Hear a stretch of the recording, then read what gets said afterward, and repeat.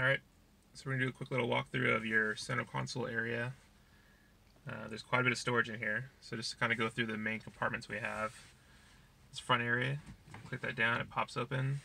This is basically your uh, phone charging or just storing. There's actually two ports in here, so if you open this guy, you see two.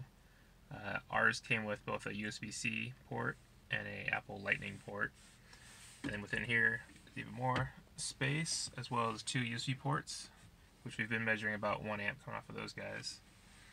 There's a deep pocket storage into here, all the rubber mats throughout everything. This closes up. You want to be gentle closing this. If you, uh, we found that if you do a quick tap, it doesn't work, so you just gotta go gentle with that guy. Two cup holders, always accessible, and not in the way of your armrests like they were in the S or R.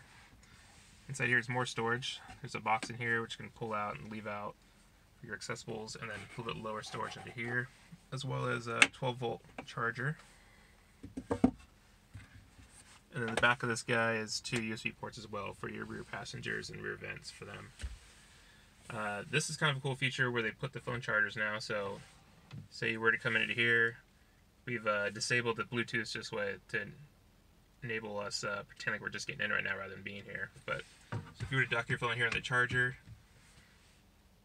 start charging showing there. It's, it's charging, and you would connect, which it would automatically do normally when you're coming in out of the car. And you could set up Android Auto to uh, run your maps or other shortcuts and text messages for you, which this doesn't quite do yet and hasn't really done so far on the S.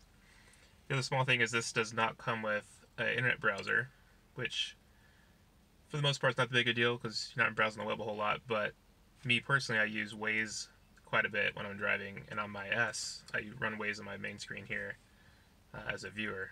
And so now you can run Waze through here, have your phone here, and you kind of got like a dual screen action going on. So this is a really nice setup the way they put this, and it's easy reach.